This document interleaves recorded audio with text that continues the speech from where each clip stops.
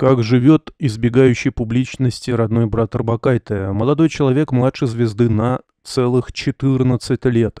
С самого детства Кристина Арбакайте была окружена пристальным вниманием журналистов, возможно, именно поэтому дочка Примадонны почти не рассказывает о своей личной жизни. Мало кто знает, но у певицы есть родной брат, который появился на свет во втором браке ее отца Миколаса Орбакаса.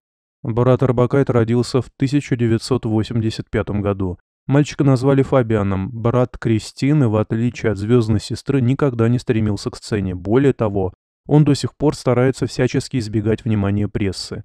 Поначалу Алла Пугачева была категорически против, чтобы ее дочь поддерживала связь с отцом и его новой семьей, однако после сменила гнев на милость. После этого Арбакайта стала часто летать к отцу в Литву и построила замечательные отношения с его новой женой и родным братом.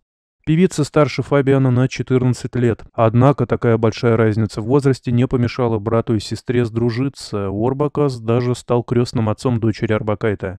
Сейчас брат Кристины занимается компьютерной техникой. До этого он работал в логистической компании.